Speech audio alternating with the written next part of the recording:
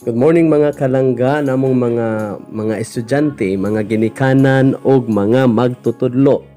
Karong adlaw ato na pong hisgutan ang atoang offline module application quarter 2. So unsay una natong buhaton o natong buhaton aron mag-guided ta sa pag uh, download and install sa atong offline module application una mosulod ta sa atoang uh, YouTube application, YouTube channel Alright, so click the YouTube app and then go immediately to ICT TV.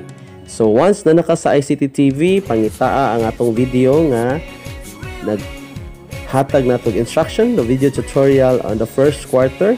There you go, how to install offline module application. Alright, when you click this offline module application, yes, there you go. So you will have Below in the description, you will have the link of the first quarter and the second quarter. Click the link in the second quarter. There you go.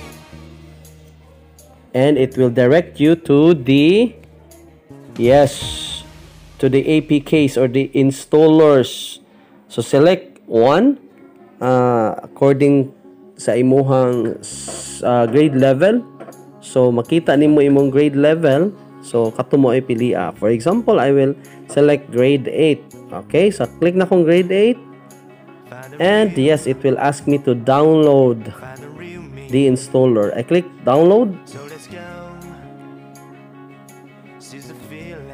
Yes, uh, it will ask you uh, to download uh, download anyway. So mangutana siya. So Google Drive can scan this file for viruses. So, grade 8 modules quarter 2 APK. So, na siya 142 uh, MB. So, it's too low for Google to scan for viruses. So, would you like to download this file? Just click mga kalangga, download anyway. So, click download anyway. Alright, so click download anyway. And there you have it. So, it's downloading now. Look at here. Sa bottom part, tanawa. You can see that it's downloading already. Alright so let's just wait for a few moments. Alright few seconds for it to complete downloading the installer. Alright there you have it. So it's very fast. So of course it depends also to your internet connection. So I'm using a 100 uh, Mbps uh, fiber optic PLDT uh, internet connection. So that's why it took me only for a bit, uh, few seconds to download the 142, uh, yes, 142 MB uh, file or APK. So I will click open. You click this one, open here. And it will, yes, there you have it guys. It will ask us So mga kalangga, uh, mangutana na siya, do you want to install this application? Of course, select install. Alright, so it's installing now. So makita na to, nag-install na siya. Alright, an app installed. And it will automatically open. O karon nakita na to nga ni open na siya and uh, checking. It is checking now. There you go. There you go and uh, yes it is a safe application. So you can click now open to check if it is already. Yes!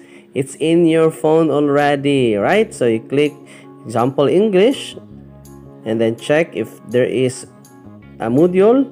There you have it. Perfect. So nanatay module sa ato ang cellphone. Alright. So congratulations if you were able and successful to download this one So I suggest uh, again uh, visit our YouTube channel because there from there uh, you can uh, click no you can find the link. And once you click that link it will direct you to our yes. All right it, it will direct you to our uh, installers. All right don't forget to subscribe ICT TV, our official uh, YouTube channel of uh, our coders. Alright, so daghang salamat. Don't forget to share this good news to all our Kalanga students, parents, and teachers. God bless and mabuhay. Alright, so there you go guys. I can check my app here. There you go. So I have already grade 9 and grade 8. So congratulations. Okay, so there you go. So uh, grade 9 and grade 8. Right? So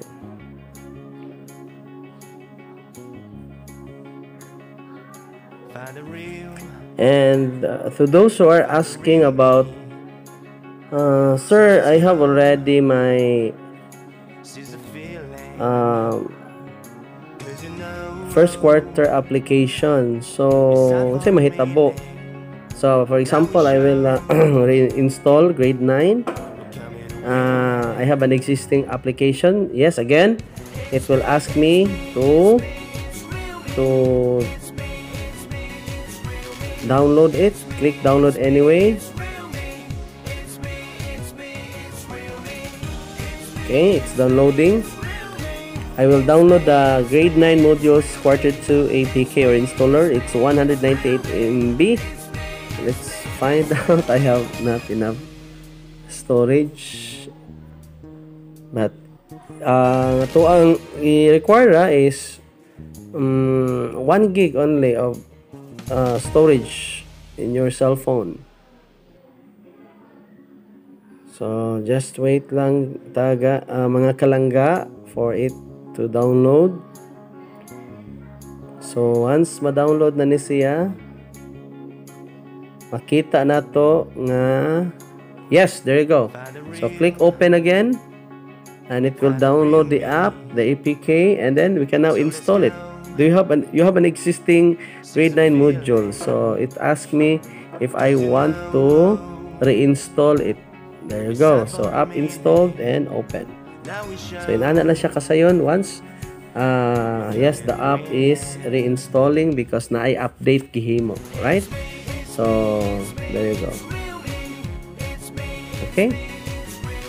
So kung mag-reinstall ta, inato lang gihapon ang process. Okay? So There you go. Um, atay na-install na, yan ay bagong update. Mao lang gihapon ato buhaton. Alright, so I hope this video helps you, mga kalangga. So again, don't forget to subscribe our channel. Good day and mabuhay. Magandang araw mga kalangga, naming mag-aaral, mga guro at mga magulang. Andito na naman tayo sa ating uh, offline module application sa second quarter. Dito po ay ating ituturo kung saan makukuha ang mga installers at paano po siya i-install. Natapos na po natin gawin uh, this week lang po yung ating mga offline module applications, APKs, o yung mga installers. Alright, so puntahan muna natin unang-una ang ating YouTube channel kung saan makikita ang link para po baka punta tayo doon sa mga installers. Alright, puntahan natin natin ating YouTube channel, ang ICT TV. Huwag po kalimutang mag-subscribe, mag-comment, mag-like, at i-share po ang good news na ito kung saan makakatulong tayo sa ating mga kalanggang mag-aaral, mga kalanggang guro at mga kalanggang uh, mga magulang. Kung saan po marami na pong uh, positive feedback na nanggagaling sa ating mga subscribers ng mga mag-aaral, guro at magulang.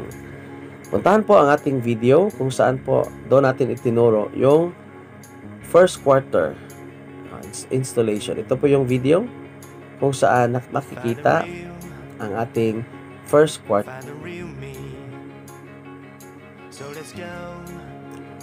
Alright. So, ito na po yung ating first quarter video uh, kung saan itinuro natin kung paano mag-install ng offline module application. Mabot po ng 10,000 views for the past 2 months. Alright? Uh, kung titingnan po natin dito sa description section, makikita po ang ating installer po. Nandito ang quarter 1, andito po inyong quarter 2. Alright? So, dami pong mga positive feedback makikita ninyo. So, thank you sir. This is very helpful, particularly our modular printed learners. Just with their effort to download and install, then they can use it productively kahit offline. Ang galing. Salamat sa pag pa-share. Alright, so andito sa description po ng ating first video tutorial, makikita ang link ng quarter 2 uh, installers. Okay, andito po, click lang po yung link.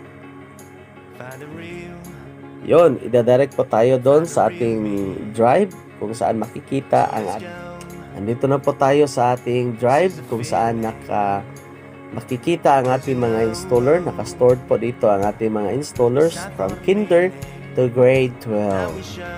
Okay, subukan natin mag-open ng isa, mag-install ng isa. Halimbawa, ito po yung grade 9. Okay, pa-prompt po tayo na download. Okay, so madali lang. Dito po, pwede na natin i-download yung ating installer po. Alright,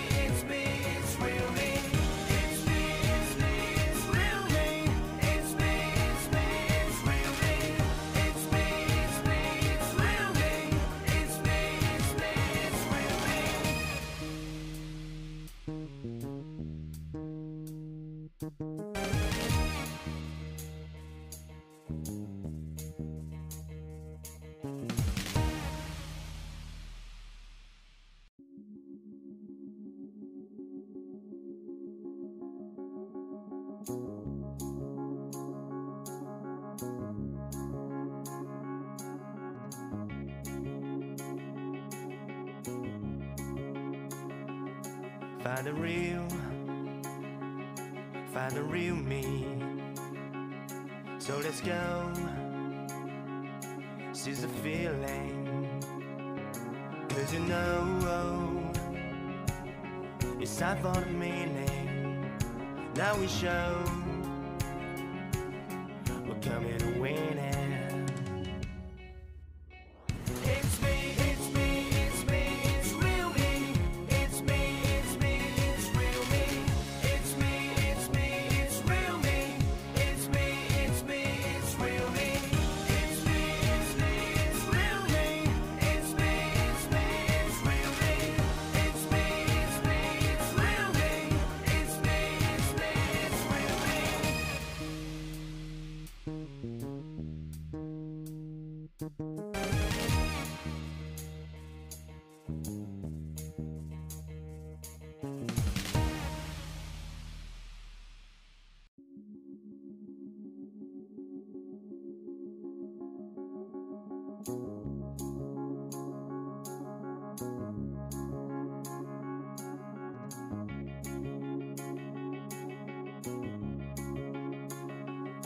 Find the real, find the real me. So let's go, seize the feeling. Cause you know, oh, it's time for the meaning. Now we show, we're coming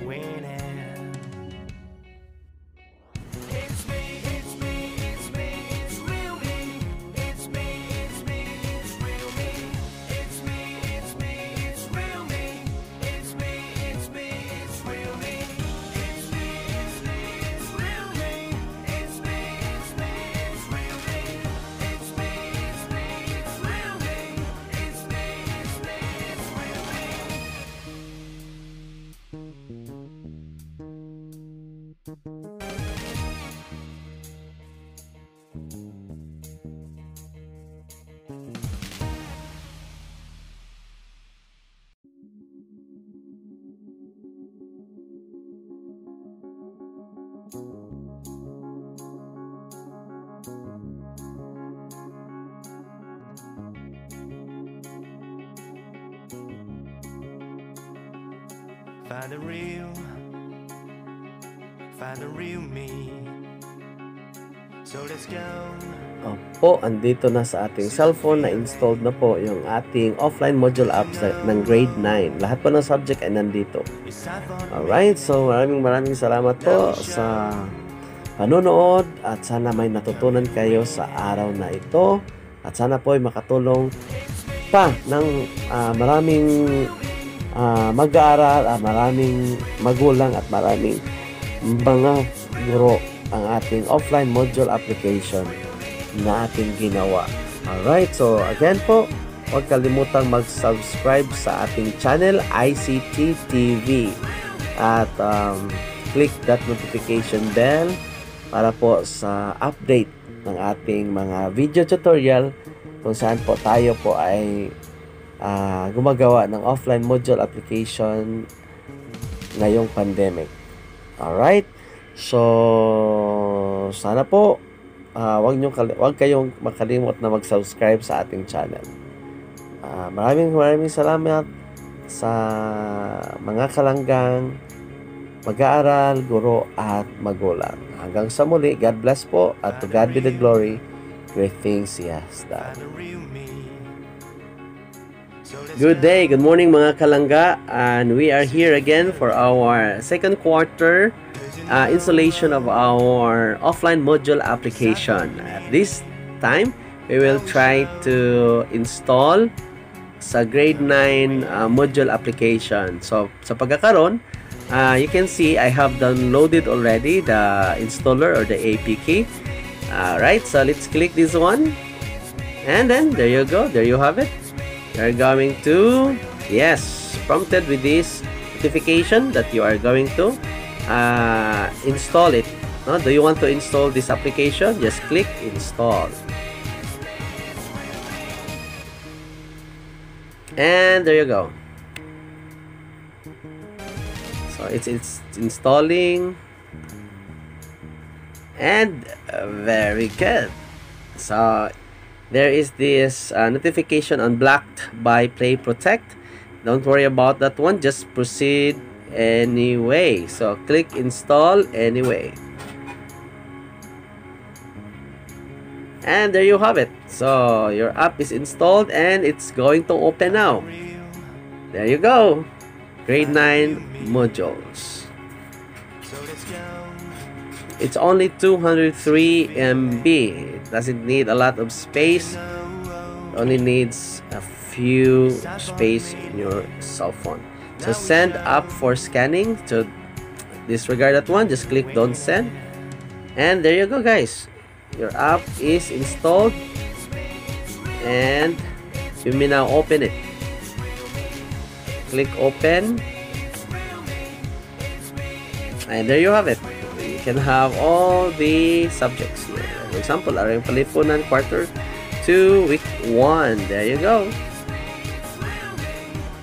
Congratulations if you are successful in installing the app for the second quarter. Alright. So, this is second quarter. You can see there. Uh, music quarter 2 module 1 music of the classical period. There you go. So congratulations in advance. Please don't forget to subscribe and share and click that notification bell. And goodbye mga kalangga. Um, see you next time for our third quarter offline module application next quarter. All right. God bless and bye bye